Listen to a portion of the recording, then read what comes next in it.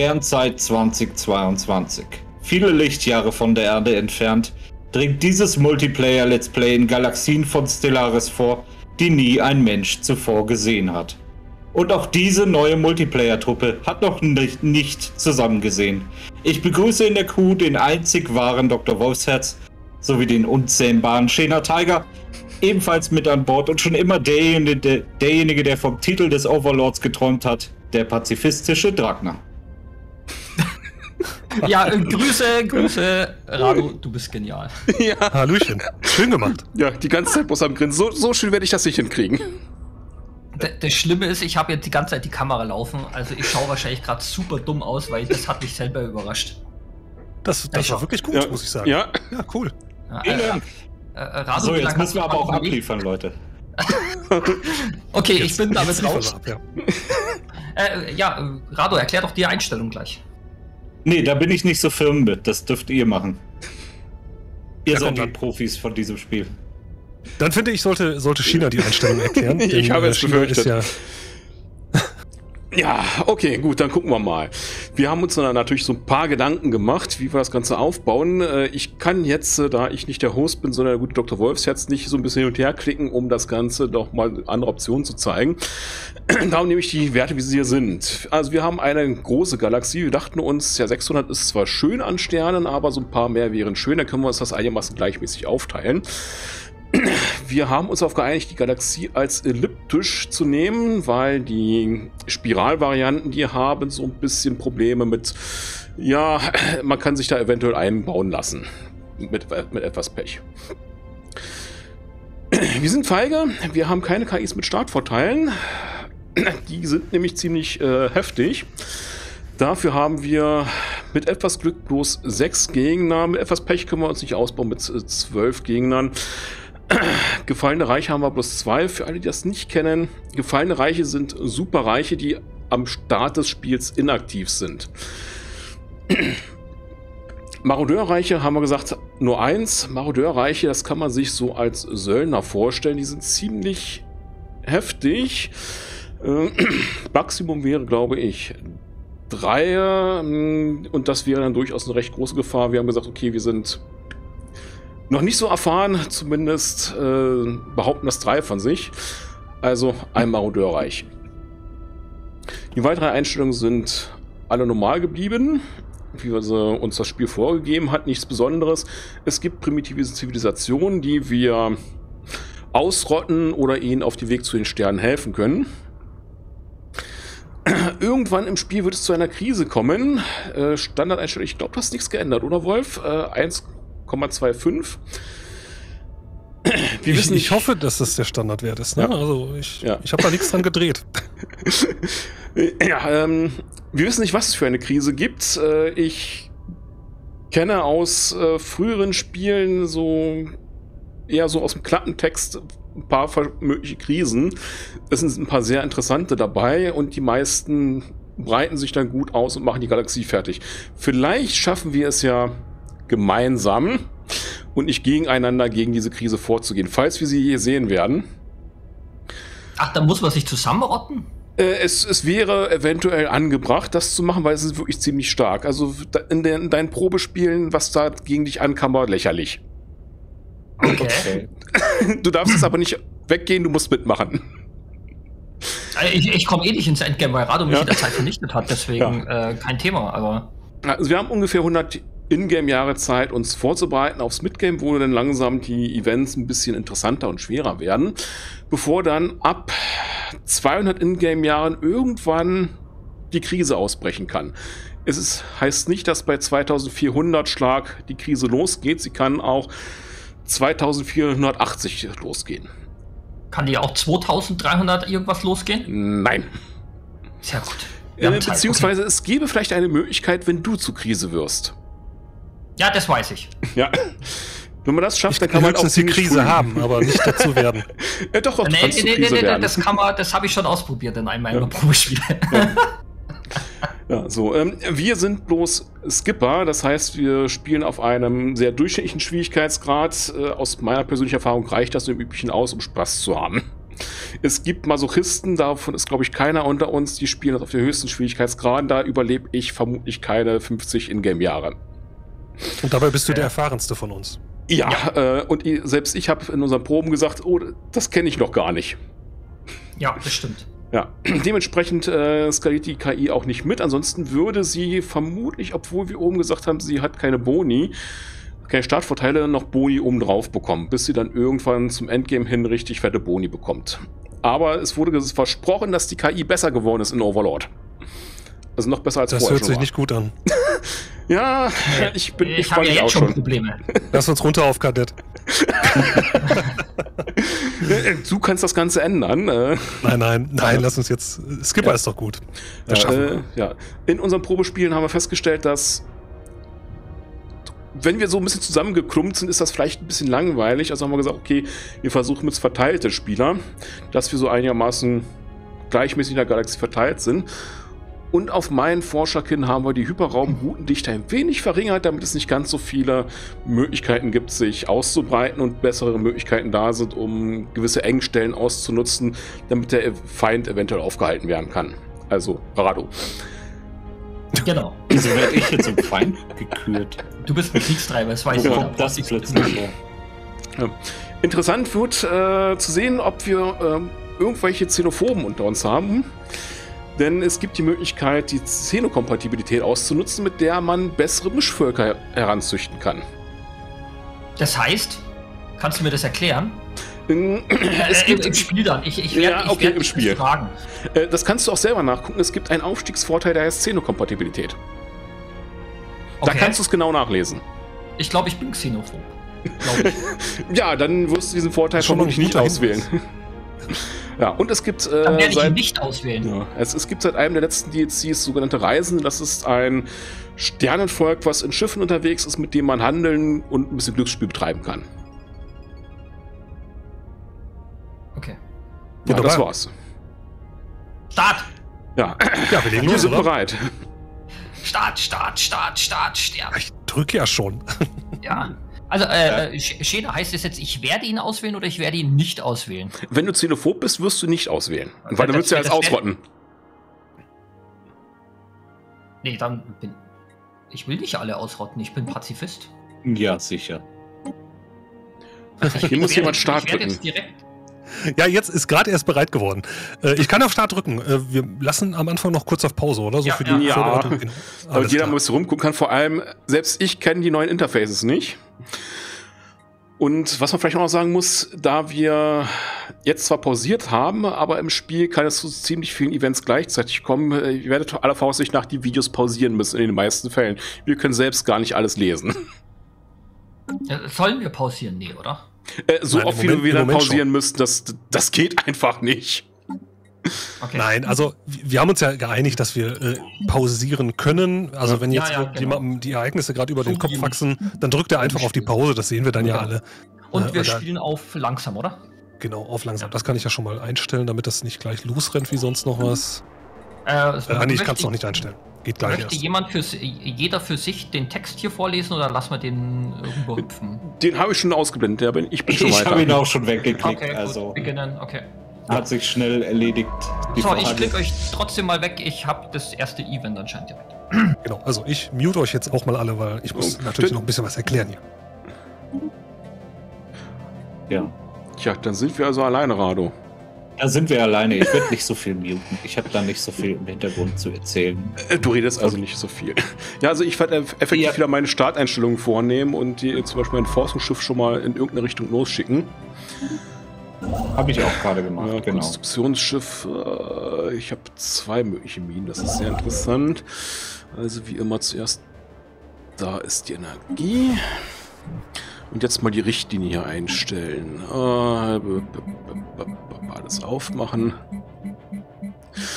So, diplomatische Haltung lassen wir so. Ich habe extra die Regierung gewählt. Ähm, ich denke, ich gehe auf die Kriegsart. Unterwerfungskrieg-Bedingungen, das ist mir neu.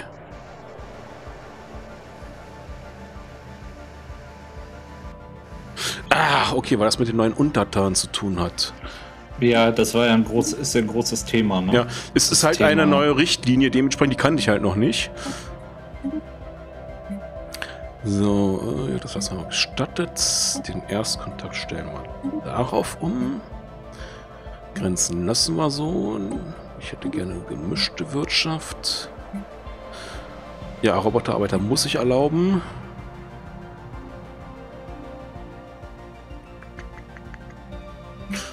Auch so. Ja, das ist mal auch so. Und Säuberung schalten wir aus. So, ich bin wieder da. Da ist er wieder. Willkommen zurück. Ja, ich äh, muss jetzt schnell alles einstellen bei mir. Ähm, zack, zack, zack, zack, zack. Wir gehen überall. Hä? Ich fange direkt mit der lila Forschung an, aber wir, wir gehen erstmal direkt der Forschung überall. Äh, ich habe direkt ein Event, weil ich spiele doch dieses neue, diesen neuen Ursprung und ich habe quasi Lehrer. Ja, der gehört, gehört dazu. Ja, genau, genau, genau. Deswegen habe ich so erklärt, habe ich so erklärt. So, dann fangen wir mal an. Okay, hier. Was haben wir denn hier alles? Also ich kann jetzt schon ankündigen, dass sich irgendwann bei mir die UI verändern wird, aber noch ist der Mod nicht verfügbar. Ja klar, das wird jetzt auch ein bisschen dauern. Ne? Hm, nö, die sind eigentlich re relativ fix. Das meiste ist ja gleich geblieben. Es gibt halt einige Sachen, die sind verändert worden oder neu. Und die müssen angepasst werden, wie halt zum Beispiel Sachen mit den Untertanen. So, mal meine Schiffe einstellen. Äh, nein, keine automatischen Designs. Oh, ein bisschen meinem inneren Monk nachgehen. äh, ich habe den Hintergrund gewählt, also nehme ich die Waffen entsprechend so. okay. Ja, ja ich, ich, ich, das, dann tatsächlich ich, ich mache da so ein ganz klein bisschen Rollenspiel, auch, auch im Privat, wenn ich alleine bin und sage, okay, äh, das Volk äh, bevorzugt eher die physischen Waffen oder die elektrischen Waffen. Zumindest mhm. äh, bei den äh, Geschütztürmen. Auch, auch, auch zum Teil dann bei Schild- und Panzerungsverteilung. Das sind dann so Kleinigkeiten. Aber die dem Volk so ein bisschen eigene Identität geben sollen. Ja, finde ich cool. Ja. Im Großen und Ganzen lasse ich ja das nicht aber, so ganz so tief drin. Aber im, ja, im Großen und Ganzen lasse ich es auch gemischt, aber es ist halt so eine leichte, leichte Tendenz zum Beispiel zu mehr Laserkanonen und mhm. anderen Energiewaffen wie den Plasmawerfern und so weiter und so fort.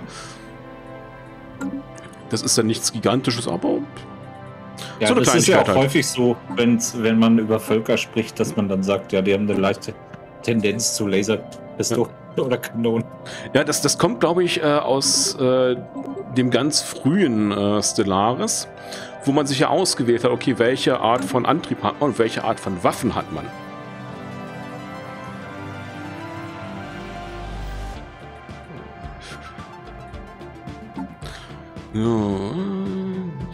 So, also von mir aus könnte es losgehen. Ich weiß jetzt nicht, wie die Situation bei ja, Dagner und Dr. Wolfshead sind ja beide gerade gemutet. Ja, also Dagner hört uns aber zumindest. Ich euch. Aber ich höre euch. Die sind im Diplomatieraum quasi. Ich habe nee, ich hab meine, ähm, meine Flotten gerade schon eingestellt und hab, äh, wollte einfach nicht, dass ihr alles hört. Ja, ist ja völlig in Ordnung. Wir werden es sehen. Wir werden es spüren, glaube ich. Ach, du bist der Kriegstreiber. Ich bin, ich bin Pazifist. Kannst du gerne weiter so predigen. Ich heiße sogar so. Ich heiße es sogar so. Das mag sein. Also ich bin, ich bin auch soweit. Ich bin auch soweit. Gib mir noch einen kleinen Moment. Ich möchte noch eben kurz was einstellen. Denn mhm. äh, ich bin, äh, ich, ich habe mir so ein paar Notizen gemacht, die ich unbedingt, äh, wo ich unbedingt dran denken muss. Und das wollte ich eben noch. Äh, Kannst du die mal vorlesen? also, ja, äh, also ich kann euch natürlich sagen, dass ich jetzt gerade so ein bisschen Handel einstelle, weil ich so ein paar Ressourcen einfach gerne äh, auf Vorrat hätte. Ach, ähm, ach, du machst einen automatischen Handel, ja? Ja, genau, so einen automatischen Handel pro Monat. Mhm. Danke für die Erinnerung. So fange ich tatsächlich auch immer ein bisschen. Ja, guck, das war ja klar, dass wenn ich das jetzt sage, dass dann irgendjemand anderes gleich auf den Zug aufspringt und dann so tut, als würde er das sowieso gemacht haben. Ich, ich mach sowas nicht. nein, nein, nein, natürlich nicht. Nee, nee ich, ich mag die nicht. Die Ehrlich nicht? Also ich würde ja. erstmal, also ich habe das bisher in unseren Testspielen auch so gemacht, dass ich immer erstmal geschaut habe, wie entwickelt sich das bei mir überhaupt, bevor ich, weil sonst weiß ich ja nicht, wovon ich zu viel oder wovon ich zu wenig habe. Ja, Das stimmt, aber, Aber- man aber, sieht ja oben naja. anfangs schon die Zahlen. Und da kann man ja schon so ein bisschen draus Das ablesen. ist, das ist grundsätzlich richtig, das stimmt, Ja. ja. Also ich kann, Ja. ich kann ja sagen, ich habe zum Beispiel ziemlich viel Essen über jetzt einfach und äh, das kann ich einfach verkaufen für Credits und davon kaufe ich mir ein paar Sachen, wo ich halt nicht so viel am Anfang von habe. Mhm. Das ist ja. Tatsächlich mache ich das gleiche. Ich habe zum Beispiel eingestellt, dass ich am Anfang jede Runde kaufe ich mir 50 Materialien dazu. Das heißt, das Geld geht auch gleich runter. Aber 50. ich will, ja, ja, ich will relativ schnell zum Beispiel auf ähm, das erste Eine Flotte hochziehen. Ja, das außerdem. Das macht man vor allen Dingen mit Mineralien, ja? Mhm. Du Profi. So, Ich habe Ja. nie behauptet, ein Profi zu sein. So, kommt Leute, lasst uns hier nicht lange quatschen oder was? Äh, ich mache jetzt die Pause raus. Einverstanden? ja, mach, Okay. mach, mach, hau rein. mach, mach, los Ist- geht's. Ist auch schon auf langsam. Wir können also einfach Jawohl. Es geht los. Ich sehe So, sie schon fliegen. Ja, ich habe direkt die erste Sache vergessen, nämlich das Forschungsschiff loszuschicken. Das ja los. Jetzt hast du ganz wertvolle ähm, 1,2 Sekunden verloren. Ja, Genau. das, genau, ja, ja, das. Deine Wissenschaftler sind in der Galaxie bereits abgeschlagen. Genau. ja, der ist schon eingesperrt und weiß es noch gar nicht. Ja.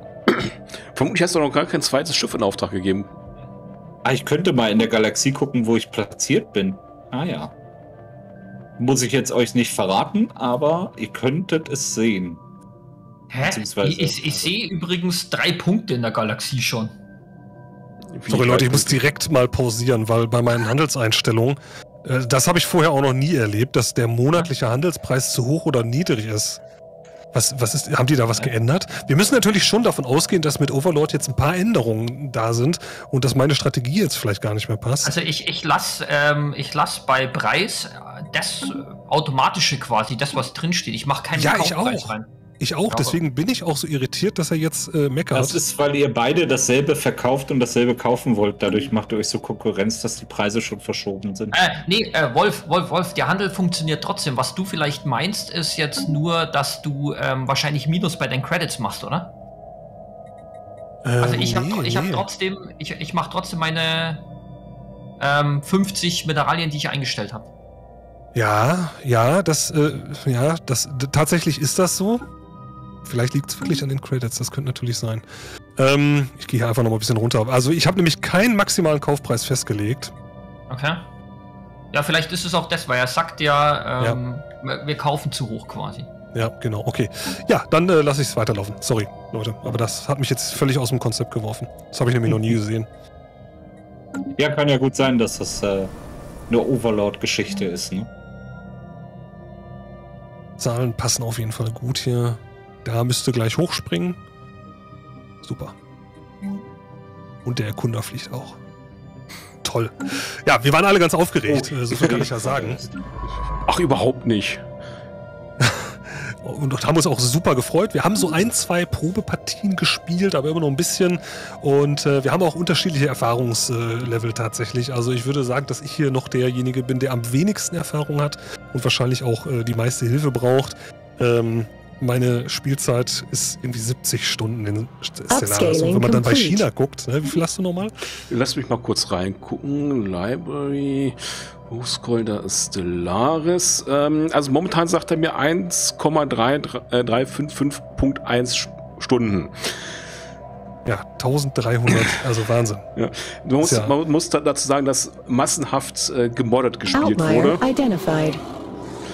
Das äh, gibt den Ganzen eine gewisse Relation, weil ich halt äh, teilweise allein oben die Leiste an möglichen Sachen, äh, die ist mal gerne mit doppelt so vielen belegt an Ressourcen. Hm. Also das ist heftig. Also mir fehlen da halt viele Sachen äh, oder ja, ich, ich erwarte Sachen und die sind einfach nicht ganz so. Das Balancing zum Beispiel. Und Overlord kommt jetzt noch hinzu. Viele Sachen verändert worden. Ja, definitiv. Also ich schaue jetzt übrigens mal, ähm, ich würde dir da schon den Titel auch streitig machen wollen. So. Weil ich bin bei 28,6 Stunden Spielzeit Oh wow, insgesamt. okay. Das hätte ich nicht gedacht. Ich dachte, du hättest mehr Erfahrung auch. Nee, nee, also ich bin da auch ziemlich blank. Und ich habe mir nicht mal einen Zettel gemacht. Äh, wundert mich, Rado, dass du tatsächlich so wenig Stunden hast, weil wir haben doch am Anfang immer ein bisschen zusammengespielt. Hey, ja, aber nicht so viel. Also ich meine, fast 30 Stunden ist auch viel Lebenszeit, so ist es ja nicht, aber natürlich nicht annähernd so viel wie die Zahlen, die wir gerade gehört haben. Ja, es ist halt so ein Spiel, wo ich viel Zeit reinstecken kann. Aber wie gesagt, äh, mit heftigen Bots zum Teil. Wo ich dann sage, okay, äh, ja, was, wenn ich, wenn ich mir so Sternbasen angucke und wie man die ausbauen kann mit ja, sechs Modulen und vier Gebäuden, da fange ich bei einigen Mods an, freigeschaltet. Oder mit einigen Mod-Kombinationen. Es gibt ja auch ein paar richtig coole Mods, ne? Ja. Also das muss man schon sagen. Also eine riesige Star Trek-Mod, eine riesige Star Wars-Mod, da kannst du kannst ja alleine nochmal hunderte von Stunden drin versenken. Ja, also, also die Mods, die ich normalerweise spiele, sind halt keine oh. Total Conversions. Das heißt, sie sind mit dem Vanilla-Game konform, halt ausgebaut, enorm ausgebaut. Aber die beiden Mods, die du eben genannt hast, die habe ich mir auch angeguckt. Ähm. Gebt mir Zeit, damit ich es mir angucken kann. ich war davon komplett verloren. Man braucht eigentlich zwei Leben, ne? Dann ja. könnte man alles spielen, was man so spielen will. Ja, das stimmt allerdings. Man bräuchte, aber naja. Oh, ich habe nicht genug Mineralien. Aber es gibt ja einen Markt. Vollständig erkundet, das hört man doch gerne, oder? Das kommt drauf an.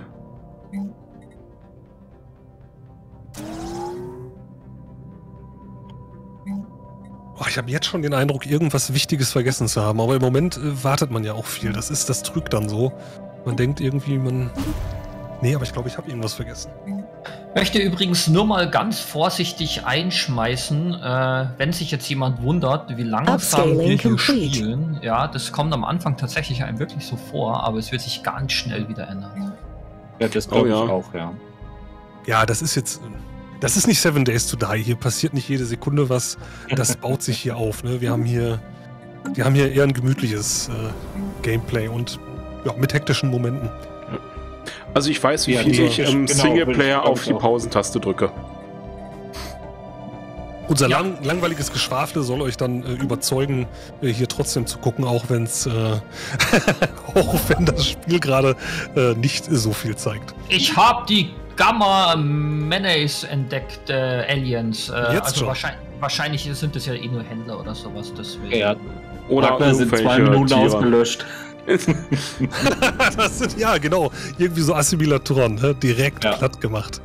Genau, also übrigens an die Zuschauer, die mich und auch Dragner kennen, ähm, ich werde dann auf Twitter, glaube ich, so eine Art Wetttafel ähm, für Dragners ersten Rage Quit veröffentlichen. Da könnt ihr dann gerne eure Wetten dalassen. Als wenn ich Rage quitten würde. Ist richtig. Hat noch nie jemand von gehört.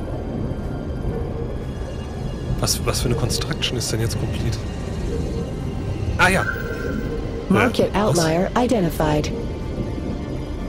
Bergbaustation, Forschungsstation? Äh, ja. Ja, ja. Irgendwie so. Ah, super.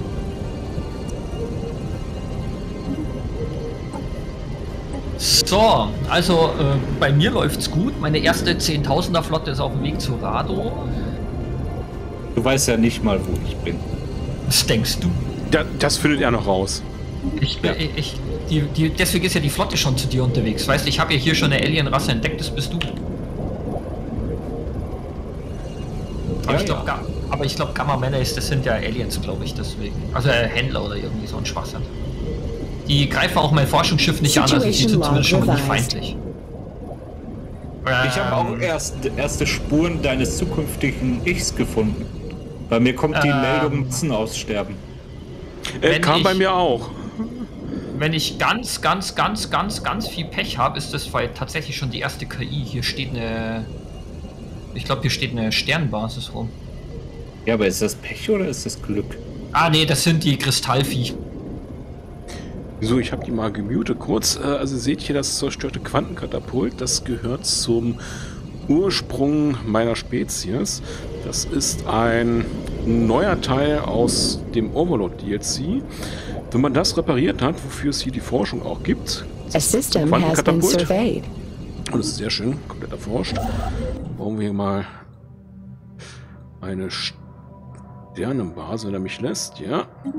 Äh, damit kann man seine Flotte, wenn man will, über die gesamte Galaxis verschießen. Das Problem ist, dass umso weiter man den Zielpunkt entfernt, umso ungenauer wird es. Aber man kann mit entsprechender Forschung das Ganze noch verbessern und wie gesagt, die Galaxis gut durchqueren. In den letzten zwei Wochen. Und nur Early Game.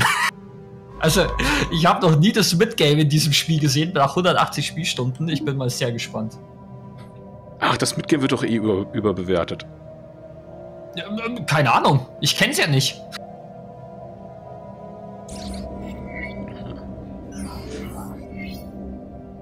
Ich kenn's ja nicht. Revised. So, alle Schiffe sind beschäftigt. Das ist immer gut.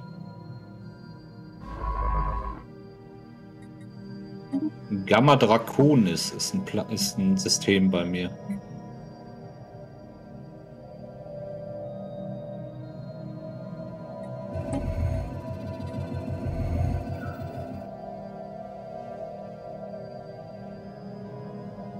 Upscaling complete.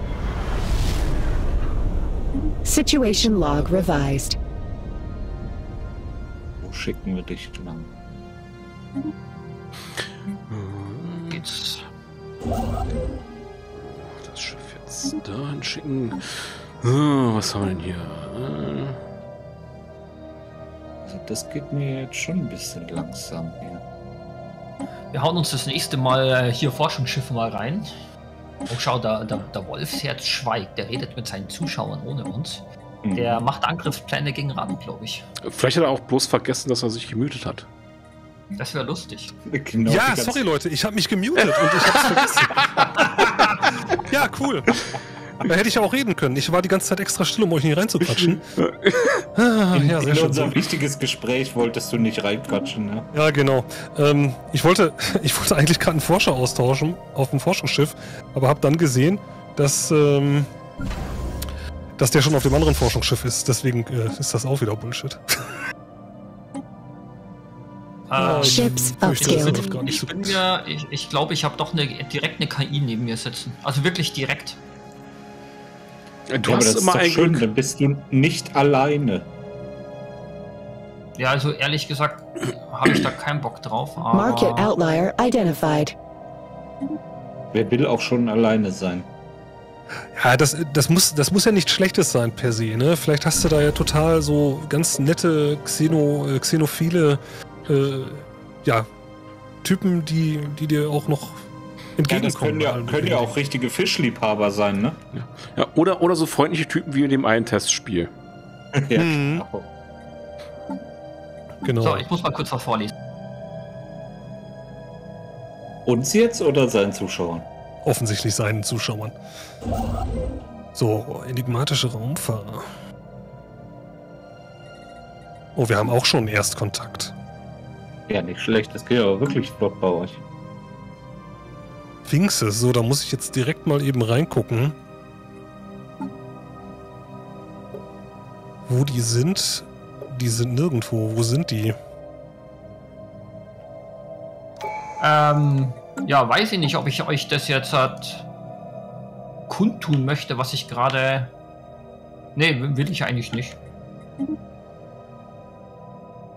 Also was ich euch kundtun kann, ist, dass mir jetzt nur noch drei Konsumgüter fehlen, damit ich mein erstes Kolonieschiff losschicken kann.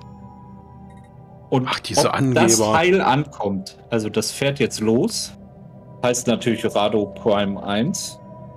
Das fährt jetzt los, aber ob es sicher ankommt, das erfahren wir dann erst in der nächsten Folge, würde ich sagen. Einverstanden. Was sagt der Rest der Truppe? Dann bin ich auch damit einverstanden. Äh, kannst du machen, kannst du machen. Interessiert mich ehrlich gesagt gar nicht. ja, also. wunderbar. Ähm, vielleicht war es eine Anspielung darauf, dass die erste Folge zeitlich durch ist, Dagmar, aber nur vielleicht. ah, ich habe, oh Gott, ich habe selber vorgeschlagen und habe nicht mal gecheckt. Dragner, ne? Was machst du? Liest du nebenbei oder? ja, ich wir gucken YouTube-Videos. Ja, ja, ja, genau, genau. Ich gucke äh, YouTube-Videos von Dr. Wolfsherz nebenbei. Ich weiß nicht, ob den einer Ah, ja. kennt, wahrscheinlich nicht. Ist so ein komischer, ja, egal. Das ist Äh, echt ein komischer Typ, ja. Also, äh, tschüss oder was? Was? Genau, schönen Ciao. Tag noch. Ciao. Ja, bis dann.